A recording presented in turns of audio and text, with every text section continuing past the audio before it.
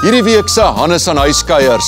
Ons raak nostalgies by die poppemeester wat lewe gegee het aan kinderhelde soos Liewe Heksie, Willie Wally en Knarsus, Hansie Visagie Ek het baie keer gevoel ek pas nie in nie tot ek teater ontdek het. en leer ken die man agter die akteur Marcel van Heerden. uit die jare wat ek groot geword het, was dit nie moeilik om 'n rebel te wees nie. Dis Hannes aan huiskuiers donderdag aand om 09:30.